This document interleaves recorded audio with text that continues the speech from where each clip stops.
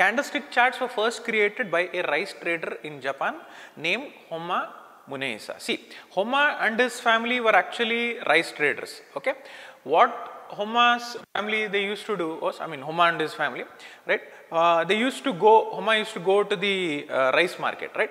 And he used to record certain prices, like the prices of the rice that was sold. Okay, what is the open price of the rice? What is the high price of the rice that was sold? What is the low price? And similarly, what is the closing price of the rice that was sold? So he did this over a certain period of time, and ultimately he represented this open high low close in form of a candlestick okay and that is the candlestick which we use today in stock market If you are interested in our training or advisory services, please join our Telegram channel.